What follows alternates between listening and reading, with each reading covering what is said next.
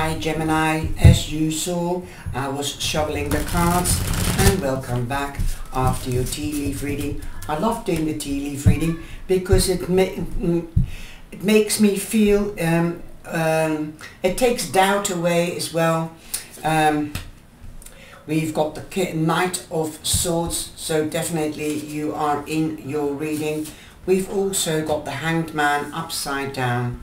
We've got the Death card and we have the Temperance card and we have the Three of Wands as the overall energy. Now we did have uh, quite a lot of uh, people in our uh, teacup.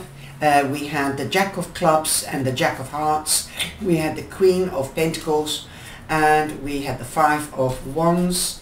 We had the Fool um, and we had the King of Hearts and the Ten of Wands. So you might be going through a tough period, but you're definitely going to um, a, a, better time. Also, I'm using the tea leaf um, oracle cards and that will be like your extra oracle cards for each week. Okay.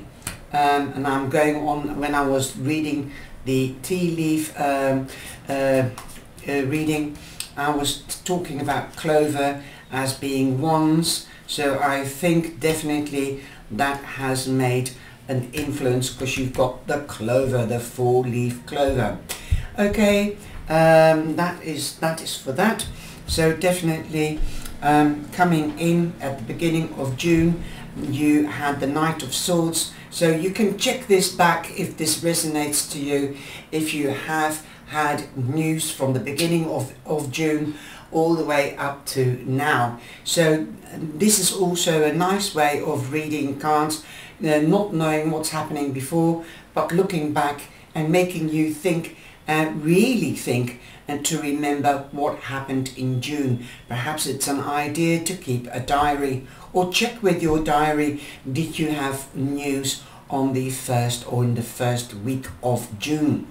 Here you've got Gemini, we've got Libra, we've got Aquarius, so you could have met another air sign and you might be conversing.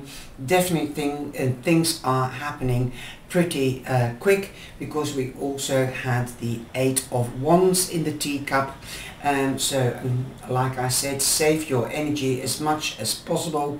Now we've got the boat here. So the boat is drifting and going with the flow. So go with the current.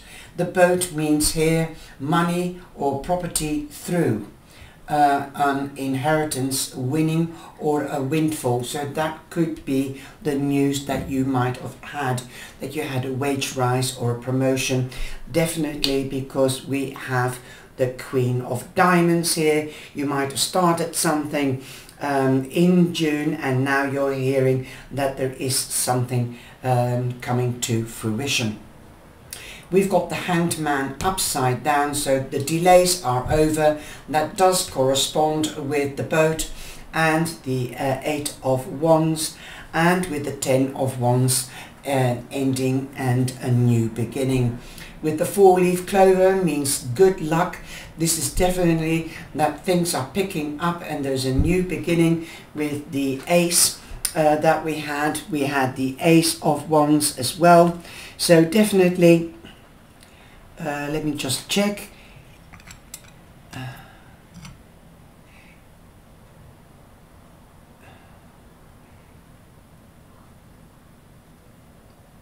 yes, no, we had the uh, we I'm sure we had the ace um, we had the the fool and we had the ace but what ace was it I'll have to re-watch the video. But definitely a 10 and that means an ending. Yes because we had a 10 and an ace the ace of clubs. That's it so you see my brain hasn't uh, fried yet. So definitely the Ace of Wands was here as well. Definitely better luck coming in, in around the middle of the month. Um, definitely uh, I, my luck has changed uh, around my birthday. My birthday was on the 15th and this is number 13 lucky number for me because it means friendship fellowship and it becomes a four so stability returns here you've got number 12 that's 3 so you've got 3 4 so you are already going onwards and upwards. We did have a 5 of wands here. You might have had that uh, the competition uh, to beat the competition between the 10th and the 15th of the month. So yes there's a stronger version coming out here. As this is the death card you're no longer the caterpillar you're the butterfly. So reach for the sky and fly and stay productive Lily also very very um, positive. Lily is like the lotus is another word for lotus. So spiritual love uh, is around you. Also um, in the Lenormand the lily means good business luck. We did have the fall. Sorry about the sirens. And you are finding your balance back again Again, you've got Scorpio and uh, Sagittarius here. Death represents Scorpio and Temperance represents Scorpio. This is your opposite sign, uh, Gemini. So definitely at the end of the month you will find your balance back, more self-assured, especially this is your first astrological calendar month and you're building up, and you're letting go of the old, that's the death and you've started your new period. So that really shows up in your reading. It's all about luck, love, money. Here's the heart, love, deep affection and caring. Your plans coming to fruition. You saw me shoveling the cards. You can't get a, lay, a spread like this uh, because I haven't sorted it out. This is just the pure energy that's out there for you at this moment your plans are coming to fruition. Abundance is on its way. It's already verified with the Queen of Pentacles. A Time is fertile. Definitely abundance is coming towards you. You could also be traveling with the Three of Wands. As usually you see ships in the in the background, but you do have boats. So some of you could be going on holiday and just take it tranquilo because you are in balance and you're sure of yourself. So well done my darlings. Now I'm going to take um, the cards, the answer of the angels as the overall answer from the angels and abundance is on its way. There you go. The angels are showing us abundance. Oh, wow. Thank you, angels. I needed that. Ooh, spiritual colors and love. Pink is love, purple is spiritual, and yellow is abundance, and also uh, what you call it, um, sunshine. Ah, I feel the sun is shining on us.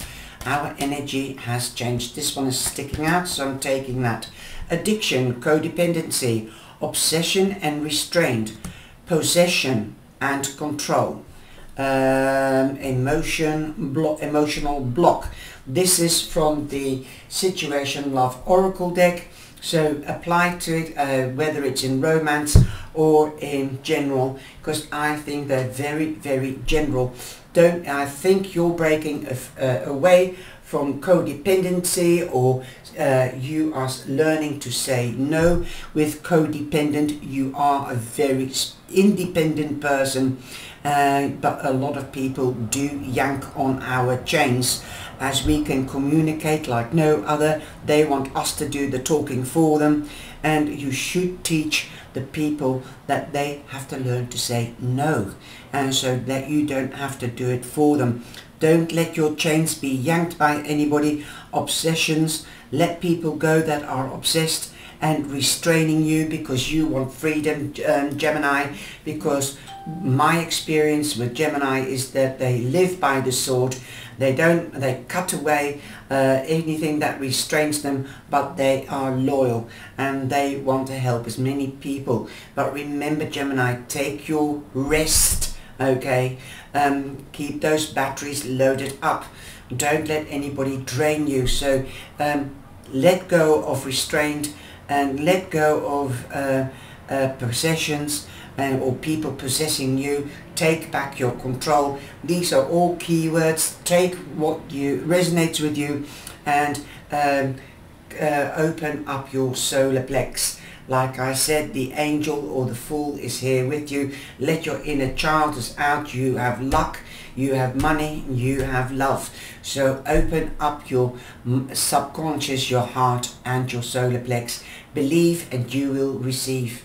I hope you've enjoyed this reading. Take care, stay safe and remember, um, um, uh, I'm back so please become a member and share and like. I'm live on Wednesday on YouTube in the evening, Facebook in the morning and Thursday morning on TikTok.